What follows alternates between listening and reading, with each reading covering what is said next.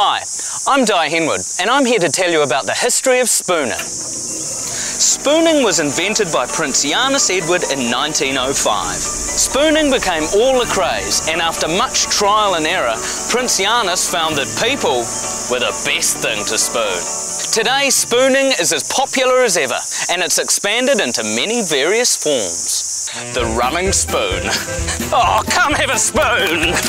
Oh, oh, oh the poolside spoon.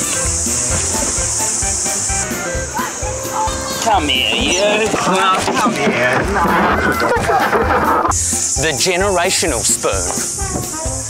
Oh, afternoon. That's nice. The solo spoon. Love you.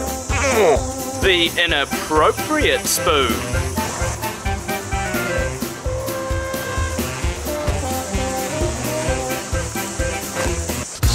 Drive-by spooning.